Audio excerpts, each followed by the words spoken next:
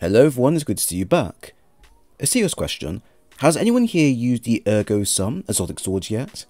Like, actually properly built into them and given them a try? If not, you are missing out on one of the most fun and chaotic experiences around. There are so many to try, and yet only a handful are the best to use. But we aren't going to be showcasing all of them today, no. Today, I'm going to show you an aggressive Ergo Sum build using none other the perfect fifth exotic trait and Dawn Chorus synergy. If you love going fast and playing destructive with swords, then here's a nice and easy way to go about it. So before we start, what Ergo Sum perk roll would you like me to try out next? Be sure to comment below. Let's start with the general aim and then exotic of the build. Our aim is to make sure we are able to maximize both prismatic and Ergo Sum properties to the fullest, so both new and old players will be comfortable enough with giving it a try. For this, we will be using Dawn Chorus and Ergo Sum. A start with our exotic, Dawn Chorus, with its exotic effect, Rise of Ember, it states, Your Daybreak projectiles deal more damage and scorch targets on impact. Your Scorch is improved, and you gain a small amount of melee energy when you Scorch damages a target.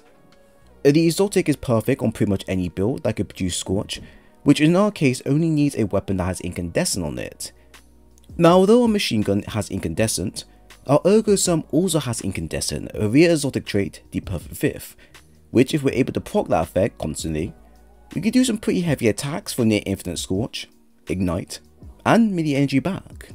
Our second exotic is the Ergo Sum with its exotic effect, the Perfect Fifth, which states, Every 5 hits attach a delayed solar explosive, scorching your target. This exotic perk is a copy of the Polaris Lance effect on a sword, um, this is quite honestly a perfect fit if you have the caster or vortex frame, as you can proc its effect from just one heavy attack. Now there is more to the weapon that you need to be aware of, as the weapon does come with the Transcendence Duelist effect, which basically speeds up our light and darkness transcendent phase, deals increased damage while transcendent, and defeating targets lengthens transcendence. Combine this effect with damage reduction while being transcendent, and you should get an idea as to how the weapon properly will work. This will take some time to master if you're kind of new to this, and if you have the catalyst unlocked for it, I would highly recommend you use this for the build, as it's literally night and day with its effect. Of course, it's also not that needed, as shown.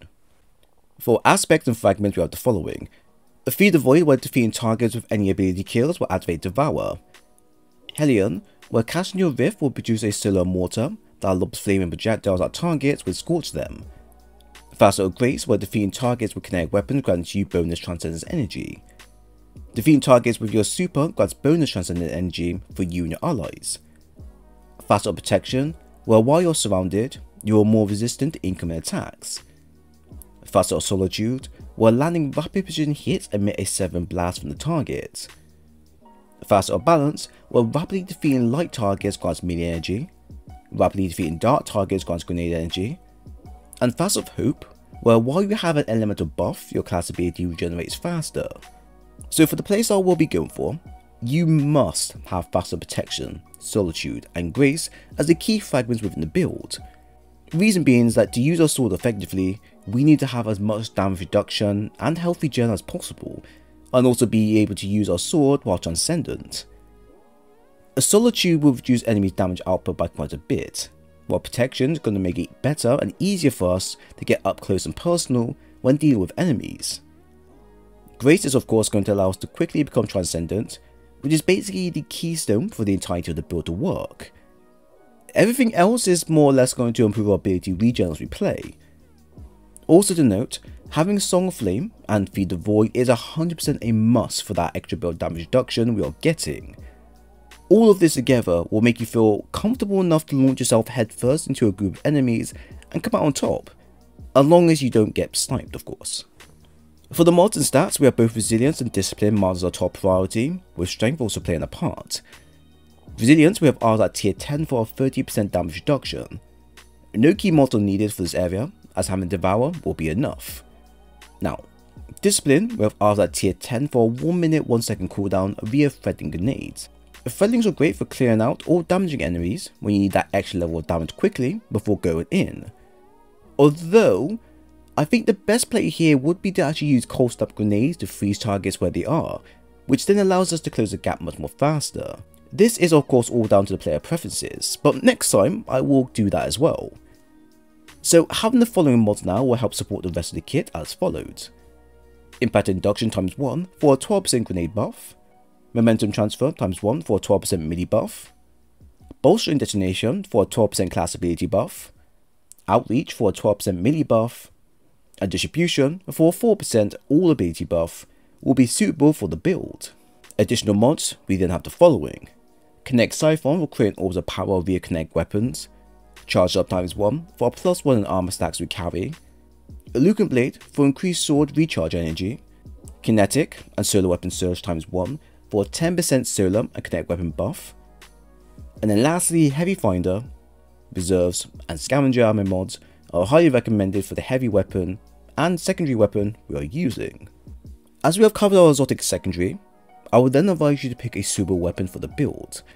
These are all optional, but do hold some benefits towards the build. In primary, we have the Blast Furnace with Kinetic Tremors and Rapid Hit, a highly recommended kinetic primary to have because of its perk combos.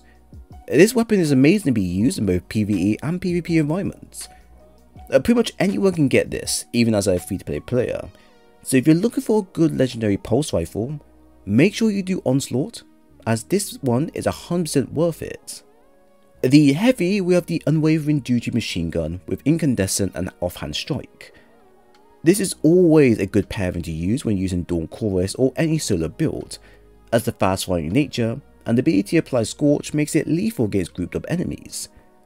However, this can only be gotten via trials, which not everyone will be happy to do, plus there's not much solo machine gun to pick if you can't get the following. So in this case, if you can't get the following, just pick any other machine gun of your liking until then.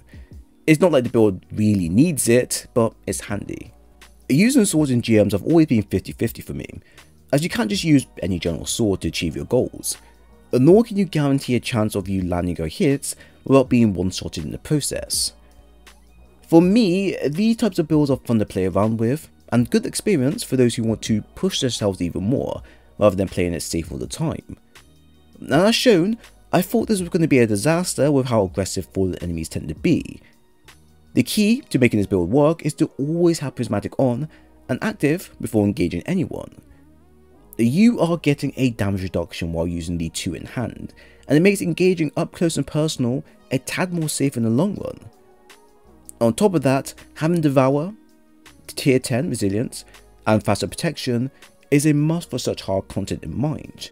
Just these alone will not only make the journey worth it, but the sheer aggressiveness that comes out of it is actually quite exciting when you play around with it more and more. Applying Dawn Chorus with our sword will make it so that applying Scorch will always end up igniting the target for huge damage. And to be fair, you can easily take on 1 to 2 overloads or elite enemies of your own pretty well, as long as you are using and making full use of that heavy attack constantly. Even better, using this with Song of Flame as well as you can get a damage reduction and damage increase while attacking a singular enemy. It's quite crazy what you can do with just a sword in hand in something like GMs. So should you ever try this, I recommend you try and get the following roll I have, or better off try and get a version that has range to it, as that will allow you to get the jump onto most enemies. Once that's done, all you need to do is practice and just play aggressive with the build. You will never succeed if you don't take risk. So enjoy the build, have fun, and learn from your experience. So there we have it, I hope you all enjoyed the build breakdown.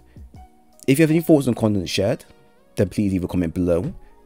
Well, if you enjoy the content and want more of these videos, then leave a like and a sub while you're here.